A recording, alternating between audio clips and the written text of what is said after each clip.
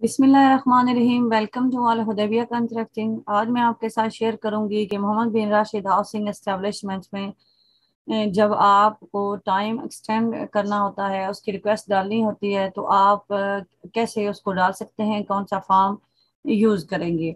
तो यहाँ मैं एक और बात आपको बताते चलूँ कि जब आप कोई भी काम लेते हैं और उसका कंट्रैक्ट होता है तो कंट्रैक्ट के मुताबिक जो टाइम पीरियड होता है, वो फ़ाइल ओपनिंग के टाइम में हम उनको बता देते हैं। मोहम्मद बिराशिद हाउसिंग इस्टेब्लिशमेंट को कि हमारा सिक्स मंथ का या वन ईयर या टू ईयर का ये प्रोजेक्ट है और उसके हिसाब से सिस्टम में वो एक time period Mohammed Rashid housing में भी आ जाता है। लेकिन अगर वो टाइम पीरियड गुजर जाता है और आप प्रोजेक्ट कंप्लीट नहीं होता, किसी भी वजह से डिले की कोई भी रीज़न हो तो आपने उस टाइम को एक्सटेंड करना होता है, तब ही आप पेमेंट रिक्वेस्ट डाल सकते हैं। तो वो टाइम पीरियड कैसे हम एक्सटेंड करेंगे या उसके लिए कौन सा फॉर्म चाहिए, उस फॉर्म को हम कैसे फिल करते हैं, ये बातें मैं आपके साथ शेयर करूँगी। अगर आप विदाउट टाइम एक्सटेंशन के बिल अप्लाई करते हैं तो आपको जो भी जितने दिन के हिसाब से ऊपर हो चुका होगा टाइम पीरियड के हिसाब से आपको पेनल्टीज चार्ज होंगी। तो उस, इसलिए जब आप पेमेंट सबमिट करते हैं तो उस टाइम में आपको ये मोहम्मद बिन राशिद सिंह का फॉर्म फिल करके उस पर ओनर के सिग्नेचर करवा के तो आपको ये साथ अटैच करना होता है। तो ये फॉर्म कौन सा है? मैं आपके साथ शेयर करती हूँ। तो आप देख सकते हैं, ये वो फॉर्म है जो टाइम एक्सटेंशन के लिए यूज़ होता है। इसका अरेबिक फॉर्मेट है, ये एडिट हो जाता है। ये आपको उनकी वेबसाइट से भी मिल जाएगा। वहाँ से आप डाउनलोड कर सकते हैं। अदरवाइज़ आप मोहम्मद बिन राशिद सिंह का विज़िट करें। वहाँ से वो आपको कॉपी भी दे देंगे। इस टाइम, इस फॉर्म को आप प्रिंट निकाल के और उस पर भी मैनुअली तरीके से भी आप फिल कर सकते हैं। अदरवाइज़ जैसे मैंने आपको बताया है, इसमें भी हम लिख सकते हैं। तो इस फॉर्म को आपने फिल करके और इस पे आपने कंसल्टेंट की स्टैंप यहाँ लगानी है। उसके बाद कंट्रेक्टर ने अपने साइन सिग्नेचर करने हैं और मालिक जो है विला का जो ओनर है, उसके साइन होंगे और फिर ये आप इसको सबमिट करेंगे।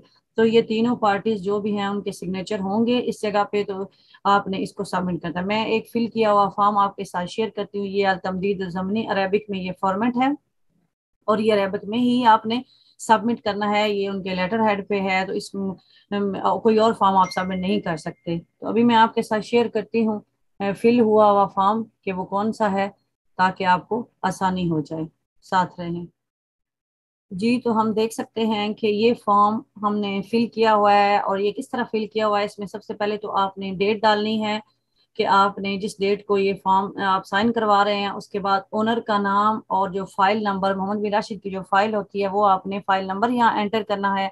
और उसके बाद ये आपने वो डेट डालनी है जिस डेट तक आपको टाइम चाहिए। जहाँ से फॉर एग्जांपल अगर आज की डेट हम करें कि आज अगर ट्वेल्व जनवरी है तो ट्वेल्व जनवरी से आपने वो मेंशन नहीं करना। आपने ये देखना है कि आपको ट्वेल्व जनवरी से लेके वन मंथ के लिए वन ईयर के लिए सिक्स मंथ के लिए कितने पीरियड के चाहिए उस पीरियड की जो डेट होगी, वो आपने एंटर करनी है। जैसा कि हमें चाहिए था इस प्रोजेक्ट के लिए time thirty first December twenty twenty one तक हमने इस टाइम एक्सटेंशन के लिए अप्लाई किया था और अप्रूव हो गया था और यहाँ आप देख सकते हैं फिर ओनर के साइन उसके अलावा कंट्रैक्टर के साइन और यहाँ कंसल्टेंट की साइन और स्टेम तो ये इस तरह से फॉर्म आपने शॉर्ट सा फॉर्म है, बहुत इजी प्रोसेस है.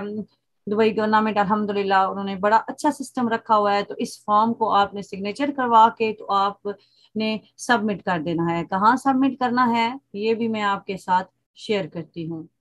टाइम एक्सटेंशन का फॉर्म जब आप कोई भी पेमेंट अप्लाई करेंगे, उस टाइम में आप साथ अटैच करेंगे। साथ आप पेमेंट के डॉक्यूमेंट्स अटैच करेंगे और वहाँ ही आपको ऑप्शन मिलेगा extension of time if required कि अगर आपका ऑलरेडी टाइम जो पीरियड जो मोहम्मद राशिद में दिया गया है वो एक्सपायर हो चुका है वो फिनिश हो चुका है तो आपने यहाँ ये फॉर्म अटैच करना है। ये आपको एक्सटेंशन ऑफ़ टाइम का ये ऑप्शन नज़र आएगा। ये मोहम्मद बिन राशिद सिंह की जो कंट्रैक्टर की यूज़र आईडी से लॉगिन करके तो पेमेंट जब अप्लाई करते हैं तो ये ऑप्शन वहाँ आएगा।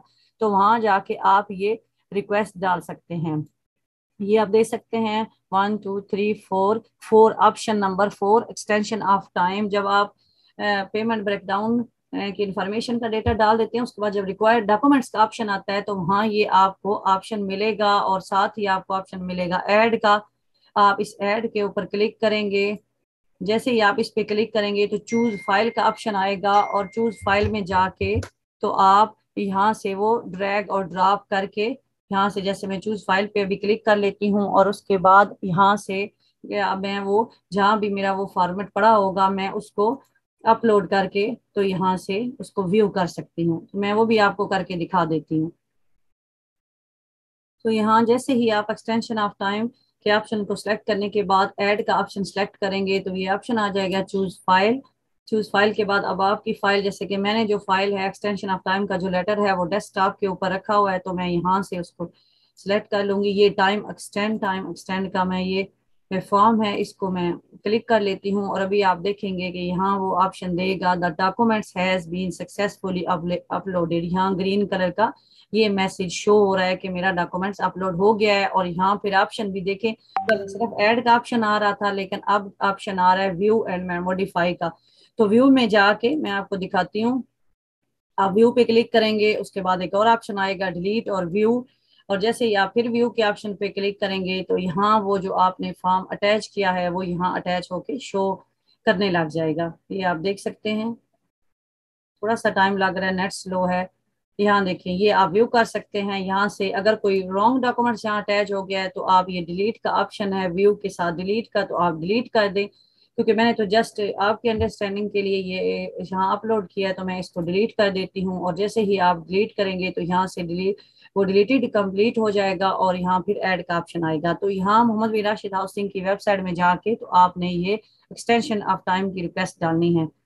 तो ये मेरा आज का टॉपिक था। मेरी कोशिश होती है कि शॉर्ट वीडियो बनाऊँ जो आप समझ सकें। उम्मीद करती हूँ आपको वीडियो अच्छी लगेगी। फिर भी अगर कुछ पूछना हो तो कमेंट्स में बताइएगा। दो में याद रखें। अल्लाह हाफिज़।